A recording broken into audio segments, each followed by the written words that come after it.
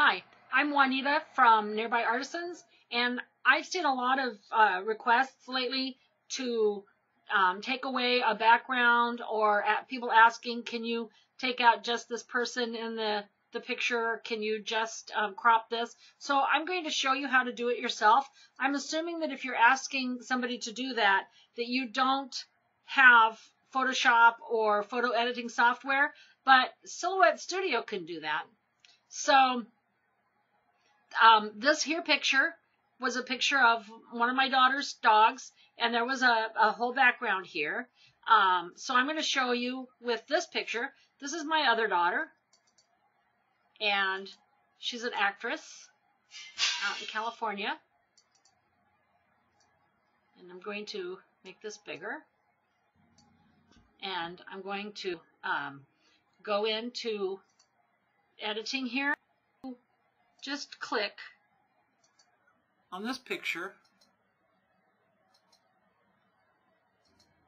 Just going to click around and get the curve of the hair, but I don't want the wispy, wispy hairs there.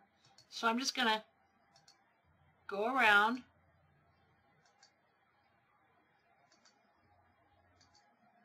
and I'm just going to outline the part of the picture that I want or I could be outlining the part of the picture I don't want, but um, I'm just going to do the, the parts that I want. And I'm just going to kind of rough do this because I'm going to fix it next. So now I'm going to go into my point editing here and and there there's the point editing um, We'll get these. Okay, so now this here, I'm going to go ahead and pull this up. I want to, this has these great Bezier curves, and I really like working with them. They're a lot of fun. Um, they make it so much easier. Inkscape has these, and um, I'm pretty sure Photoshop does. But these, because you can really, you can manipulate these like this, you could turn that completely around. See how that twirls and it'll go outward and you pull it out for more of a curve. You bring it in for a more subtle curve. Now they, they do work together as far as if you tilt one, the other one's going to move too. But they work independently of each other as far as the, the, the, um, how long that curve is, the curvature of it. So I'm going to go out to here, do this part, pull that in, pull that one in a little bit. I'm going to pull this one out. And now I'll, take care of this later, this flatness on top. I'm just going to pull these in, that in. I want to get this to have a little inward dip there. And now I will do the opposite on this one to get that in. So kind of in the middle, I pulled one out and one in to get that curve. Going to pull that. I want this one. Now this one here, I might just separate these two. And, and then I have that one. And now I'm going to, on this one, I'm going to make that flat and pull this down a little, although that won't matter, and I'm going to pull this in. Okay, so now the thing about this is that even after I, I'm going to go in and I'm going to pick on, uh, choose both of those, and then I'm going to crop. The thing about this is that if I pick a part, like right here, the part that part's still behind there. You see, that's still there. So if I decide, oh, I really didn't mean to take out that that much of it, you can go in and you can um, go in and pull that back in. Uh, but you can go in and you can um, go go back and recapture some of the things that you deleted. Now this here, I want that gone. So I'm just going to delete these points, get rid of those. Let's see, I'm trying to figure out how that that happened. I guess I want to delete that and, and that and that, I guess. Okay, and now I'm just going to go up here and I'm going to click on that. I'm going to delete these and now I'll pull this part back out.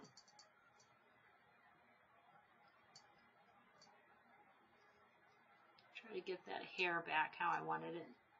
But see how that is, I'm able to just go in and kind of like pull my curves out, pull that one, pull this one back in, and there. And now I like that. I'm going to fix the part at the top of the hair up at the top. I'm going to pull this up and try to get the, the curve that I know is there of her head. Um, but I, I don't want it, the pointy part there. I don't want this part. Okay, and now I like that. Um, and I, I, I used this picture and I made her her own um, makeup bag that she can carry to the sets with her. And so now I'm going to go ahead and I'm going to get an oval because I don't want the flat part here. The flat part on the bottom there is okay if I were uh, going to have this on a surface that ended right there, maybe the bottom of a shirt, maybe the bottom of the zipper bag, but I want it to so I'm going to go ahead and get a curve here, or a, um, an oval here. I'm going to kind of line it up how much I, I would want. And I would want not quite that much. Okay, and now I'm going to I'm going to go ahead and get a copy of this and put it to the side. Um, now I'm going to take this part and I'm going to crop it again. And now I have this that I can put and match right up to there. Put it right where the other one was. Okay. Now, I could go in and I could give this color. I could, um, I'm going to make sure I put it to the back. And I could go in and I could get, oh, um, maybe a soft blue back there. You know, darker. I could even pick a color from the, the uh, picture. I could pick a cheek color there. And so I, I and right now I would print this out using my, um, getting my, um, the, um, the lines that up here, my um, registration marks. Um, get rid of that. But uh, I'm just going to show you how to um, print to print this. I'm not going to do the whole print and cut, but it would be the same. So now I'm just going to make that a solid. And assuming that I'm printing this out on either sticker paper or um, sticky back vinyl uh, or whatever I'm printing this out on. And now I want to cut it. So I want to send it to the cutter. So when I send it to the cutter, I have this right here is what it's going to cut. So it's printed this out on the printer, and now I put it in the cutter, and this is the where it's going to cut. However, if I wanted her to cut out, I would just go in and click on cut, and then I would take away the oval, especially if I didn't want the oval completely taken away permanently. I just wanted just for now to cut out. Seeing where it's going to cut. Um, again, I don't want that cut out, so I'm just going to do no cut. click on my oval again and I'm going to click cut. And now this is where we'll just cut a nice oval there of that sticky paper. Or if I'm doing, if I was doing sublimation, I would probably go ahead and have it cut um, that and not do the oval. If I were doing print and cut on sticky paper, vinyl, uh, anything like that, I would go ahead and I would have just, I'm not going to ever want both of them cut. Um, so this is where you figure out which things you want cut out. Make sure that it says no cut and there's not a red line if that's not what you want cut out. And the, the part you do, and sometimes people will send these to print and it won't cut and they're not they're not sure why uh, nothing's cutting, it's because everything is set to no cut. Nothing here is saying cut. So you have to go in and you look for your red line, red cut lines. Um, and now the same thing with this, the dogs. If I want them to be cut, I could have them cut together. See, right now it's set to cut together. And if I don't want the cut dogs on the inside cut, then I click no cut. I do want to click on the outside though, and I want that cut. Oh, it's because they're grouped, so I have to ungroup them. See, if that'll ever happen and you don't know why it won't separate, they must be grouped or uh, compound path or something like that. So you just correct that. Now do no cut. And so now it would print out the picture of the dogs and then I could run it through my cutter and it's going to cut ovals around where the, the dogs are printed. Um, and this is just a, a really good tool to use. Now another thing about this, say that I get this to the to the to the um, so I'm getting ready to send it to the printer and I realize, gosh, I really think that I wish I'd saved some of this hair. All that stuff is still there. You see, it's all still there. It's just not going to print if you have it, um, if you if you don't have it um, uh, chosen, it's not going to to print out. But now I could I could go in and redo the whole hair and say, oh, I do want this little this little wispiness. I want that in there. I'm going to go ahead and get that. And th there, I and I could do the same thing with the other side. Now you'll notice down here, what it's doing is it's repeating. And I, I don't understand that, and that's just fine.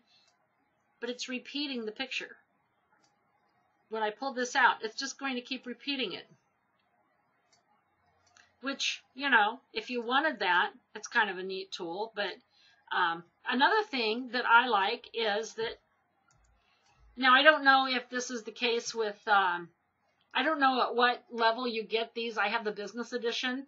But say I want it to have um, this star right here. And I'm going to go ahead and make that star. And these here, this here decides how many, if you can see, let me go over to there. This here little slider decides how many points there are going to be. This decides how deep those are going to be. Like clear to the to in, in deep, and I love that. It's like a sparkle. Um, and then this, of course, is setting it up, the size and the placement. So now I like that. And I'm going to go up and I'm going to convert that to path because I don't want it to keep changing every time I, I touch it. So I'm going to convert that to path now. I'm going to get that the size of, um, and I want, I want it to be small enough to where there's no blank spots. The picture is larger, so um, that looks pretty good. And now I think that I want to pull this out some so that the point, and I'm going to pull this part out just to make sure that the points don't have any blank um, areas. Now see on this, that point goes out a little past, but it's still within the picture. And now I'm going to pick up, pick both of those, and I'm going to go over here. I'm going to crop. And now I have that and I still have editable points. And these points, if I pulled it out, it would still have the picture behind it. But um, there's a lot I can do with that. And now if I go in and I'm going to uh, send it to print,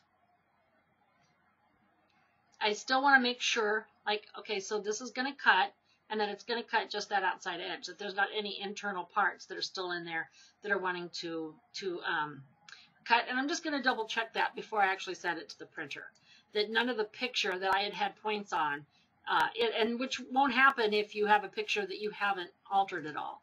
But um, if you have altered the picture and cut anything out, there may be a point like in here around the face or something um, that you want to make sure it's not going to try to cut that. And here's another picture of my daughter. I don't know if I mentioned that she's an actress. Um, and um, go into these tools again. Like, oh, I mean, I really like so many of them. I could do a um, teardrop, I guess. And this part here kind of decides the, you know, if it's tilting. And this is basically just tilting it. And I'm going to go ahead and convert to path.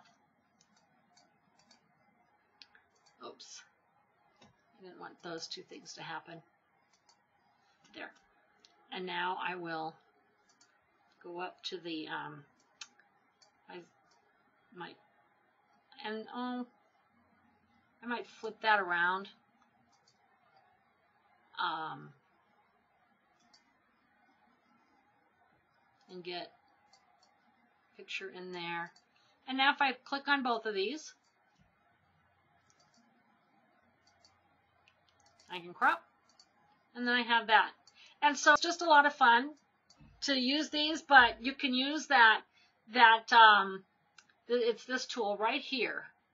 And it's these, and you just go around your edge, and or whatever you want to delete. If you even want to delete a part of the picture, go around the part you want to delete, and then just crop, and it'll get rid of that for you.